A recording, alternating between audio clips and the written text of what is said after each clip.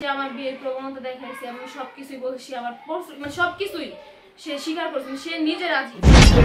সবাইকে আন্তরিক প্রীতি এবং অভিনন্দন জানিয়ে শুরু আমাদের নিয়মিত অনুষ্ঠান জীবনের গল্প।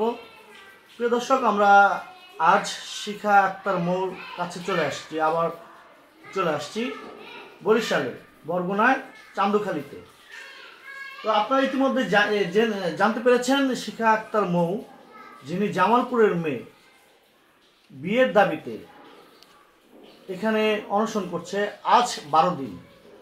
তো আমরা গতকালকে তার একটি কল রেকর্ড দেখতে পেয়েছি। তো সে বিষয়ে আজ আমরা তার সঙ্গে কথা বলব। কল রেকর্ডটি নিয়ে আমরা আজ কথা বলব। তো দর্শক আমাদের সঙ্গে থাকুন। তো সর্বপ্রথম আপু আসসালামু আলাইকুম। একটু ক্যামেরার দিকে তাকান। তো কেমন আছেন। একটু জোরে কথা বলবেন। ভালো আছি। ভালো আছেন শুরুতে জানতে যাব আজকে সকালে তো প্রায় নয়টা, দশটা বেজে গেল। নাস্তা হয়েছে। এখন পর্যন্ত নাস্তা হয়নি? আচ্ছা। তো আমরা চলে গেলে ইনশাল্লাহ নাস্তাটা করে নেবেন। কেমন? না খেয়ে থাকলে হয়তো শরীর খারাপ করতে পারে। এখন বিষয় হচ্ছে আমার, আমাদের নজরে গতকালকে আপনার একটি কল রেকর্ড চলে আসছে।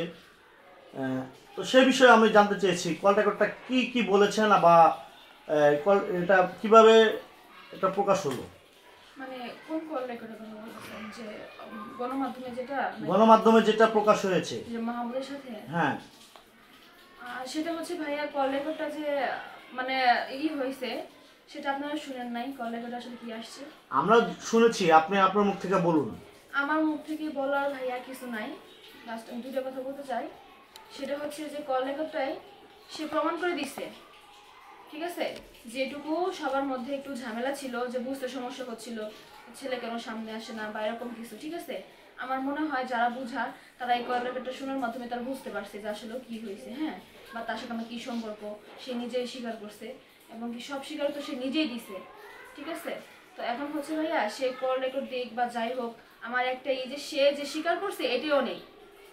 তার সাথে যে আমার সম্পর্ক ছিল এটা কিন্তু হারে হারে এখানে প্রমাণ হয়ে যায় কারণ নিজে নিজেই ফেসে গেছে। কারণ নিজে ভাবছে যে হ্যাঁ এটা কি? আমি বললেই হয়তো আমি বেঁচে গেলাম। কিন্তু প্রত্যেকটা কল রেকর্ডে আপনারা দেখতে পাবেন যে ওর সাথে আমার কীভাবে কথাবার্তা হয়েছে বা কতটুকু মানে সম্পর্কে জড়ালে এভাবে কথাবার্তা হয়। ঠিক আছে? তো ও কিছু কিছু কথা ওখানে বলছে। তো ভাইয়া বাঁচার জন্য সবাই অনেক কিছুই বলে। ঠিক আছে? কোনটা বলেছে? একটু আপনি এই যে বাইকের প্রতি নেশা। আচ্ছা আমি মেয়ে মানুষের বাইক দিয়ে কি করব? আপনার এটা বুঝেন আমি কি বাইক চালাবো? আমার ভাইয়া তো নিজের বাইক আছে, আমি কখনো বলছি। আমার কথা তো সে যে বাইকের কথা বলল, টাকা পয়সার কথা বলল, টাকার অঙ্কের কথা বলল যে এমন টাকা চায় ও টাকা দিয়েই করে। তো হচ্ছে এরকম টাকা যখন আমি ফার্স্টে তার বাসায় আসি, অনেক তো অনেক অফার করে, মোটামুটি টাকা দিবে, দশ লাখ, বিশ লাখ, তুমি কয় কয় লাখ টাকা নিবে? নাও, নিয়ে চলে যাও। এরকম অফার আসছে। আমি কি নিয়েছি? আমি কি টাকার কাছে কি আমার ইজ্জত আমি সব দিছি? আচ্ছা মৌ আমাদের আমি আপনার যে ভিডিওটা করেছি ভিডিওটা প্রায় মোটামুটি ভাইরাল হয়েছে এবং অনেকেই অনেক দর্শকই সাড়া দিয়েছে এবং অনেকে আপনাকে একটু সহযোগিতা করতে চাচ্ছে, আপনার পাশে দাঁড়াতে চাচ্ছে। আবার অনেকে আপনার নেগেটিভ যেটা বলেন বা পজিটিভ যেটা বলেন, সেদিকেও যাচ্ছে। তো মূলত তাদের কমেন্টের প্রেক্ষাপটে আমি একটি কথা বলতে চাচ্ছি আপনাকে। তারা বলেছে, এমনটি জানিয়েছে যদি আপনার সঙ্গে ছেলের সঙ্গে কোনো শারীরিক মেলামেশা বা সম্পর্ক হয়ে থাকে, আপনি বলতেছেন ছেলে অস্বীকার করতেছে। তাহলে এটা প্রমাণ করার জন্য যদি ছেলের পক্ষ থেকে আপনাকে ডিএনএ ডিএনএ টেস্টের অনুমতি দেয় বা আপনি ডিএনএ টেস্ট যদি করাতে বলে, আপনি কি ডিএনএ টেস্টে যাবেন? ভাইয়া, এখন আমি এখানে দুটো কথা বলি। ফার্স্ট অফ অল সে কিন্তু মানে এই যে তার সাক্ষাৎকার অডিও কলের মাধ্যমে সাক্ষাৎকার নিছে সেখানে কিন্তু সে কিন্তু অস্বীকার করে নাই। যে তার সাথে আমার কিছু হয় নাই। সে কিন্তু নিজে প্রমাণ করে দিচ্ছে সে আমার বাসায় ছিল, সে রাত যাপন করছে। ঠিক আছে? এখানে আমার মনে হয় না যে ডিএনএ টেস্ট করা খুবই দরকার। ঠিক আছে? সে কিন্তু এটা স্বীকার করে দিছে। আর দ্বিতীয় কথা হচ্ছে ডিএনএ টেস্ট কি? সে নিজে বলেছে যে সে আমার সাথে রাত কাটাইছে। এটা এখানে কি ডিএনএ টেস্ট করার আছে?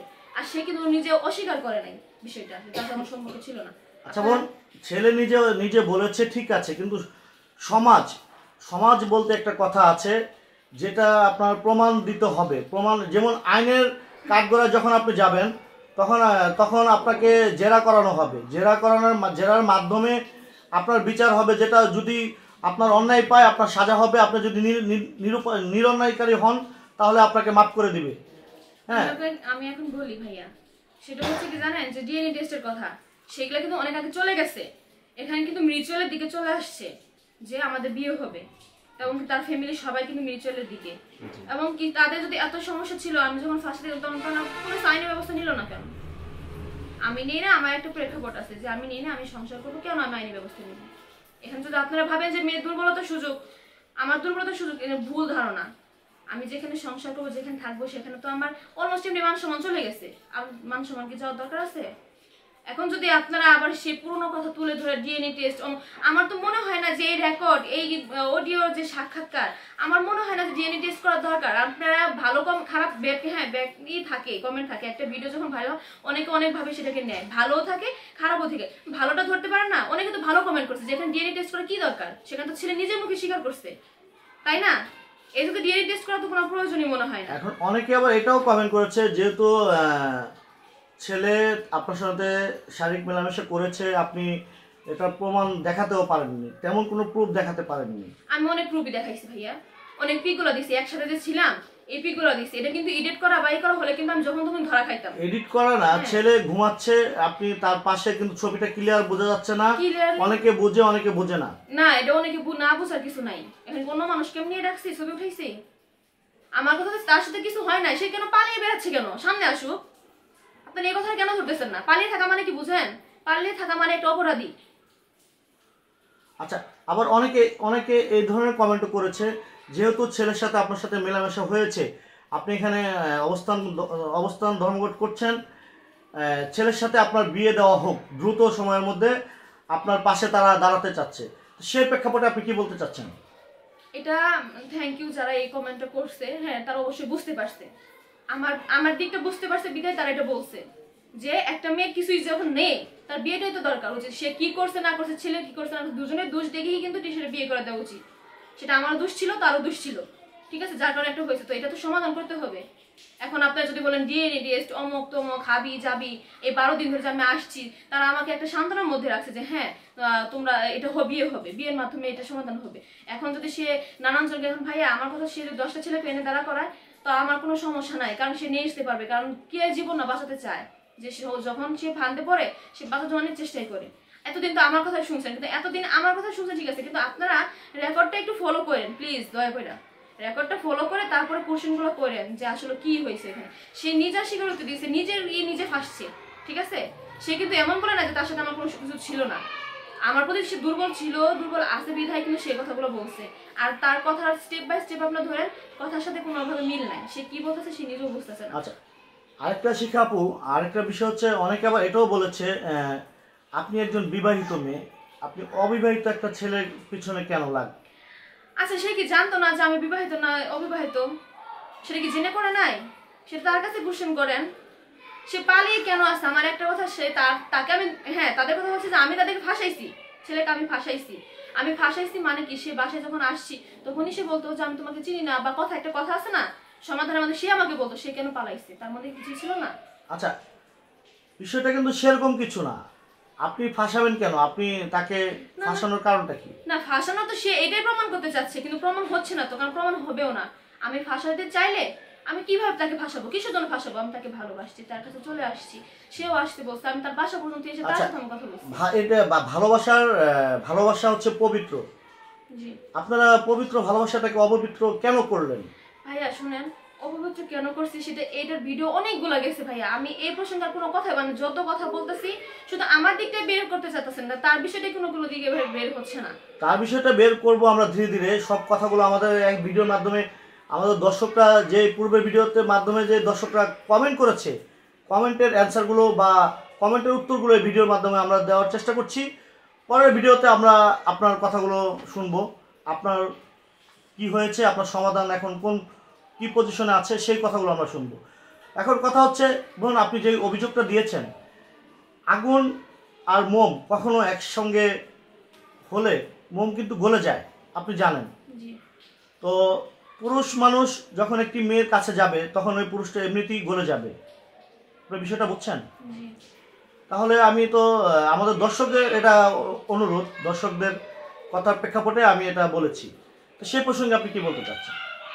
আসলে ভাইয়া শুনেন এত নিজেকে একটা মেয়ে নিজের মনে এত সস্তা মনে করে না ঠিক আছে? প্লাস সেখানে আমি সিরিয়াস সেও সিরিয়াস হান্ড্রেড পার্সেন্ট সিরিয়াস ঠিক আছে? আমি চাই না আমি যখন একটা ছেলে বলে যে, আমার মা বাবা তাহলে, তোমার মা বাবা তাহলে এতদিন সংসার কেন করে? কাছে আসলে কি ভালোবাসা শেষ হয়ে যায়? আপনারা এটার অ্যান্সারটা আমাকে দেন। আমি কি অ্যান্সার দিব সেখানে? আমি যদি একটা ছেলের প্রতি মানে একটা মেয়ে কখন তার কাছে যায়? যখন সে হান্ড্রেড পার্সেন্ট শিওর থাকে সাকসেস মানে যে না, তাকে বিশ্বাস করার যোগ্য, সে বিশ্বাস হয়, তখন একটা মেয়ে একটা ছেলের কাছে যায় বা মানে তার সাথে সে ধরা দেয়। আমার মনে হয় এটা। সে যখন এইভাবে কথাটা বলে যে একটা মেয়ে মানে আমার মা বাবা তাহলে কেমন সংসার করতেছে এতদিন ধরে? আমি তার মা বাবার উল্লেখ করতেছি না যে এটা বলতেছে কথা বলে, সে এইভাবে বলছে, তোমার মা বাবা কেমন ভাবে আছে? তারা কি মানে সংসার করতেছে না? তাতে কি বিয়ের আগে হলেই কি হয়েছে? বিয়ে কি করব না আমি? তো এরকম কিছু কথা আছে। ভাই, আমি এগুলোর কথা নিয়ে আমি কথাই বলতে চাচ্ছি না। আমার যে সমাধান, আমার কথা হচ্ছে পৃথিবীতে কি এমন কেউ নাই দেখার মতো? যেটা কি সমাধান কি? সমাধান বলে দিচ্ছে যে সমাধান হবে সেটা বিয়ে। সেটা ছেলে এখন জোরপূর্ব হোক বা ধরে আনা বিয়ে হোক, তাকে আমার বিয়ে, আমাকে বিয়ে করতে হবে অবশ্যই। কারণ আমার সাথে যেটা করছে, সেটা ভালো করেনি। ঠিক আছে? এটা, এটার ই, এটাই যে বিয়ে করতে হবে। আচ্ছা বিয়ে করতে হবে না? তো শিখা আক্তার মৌ, আজকে আমরা যে যে বিষয়টা জানতে পেরেছি আপনাদের বিয়ের কথাবার্তা চলছে।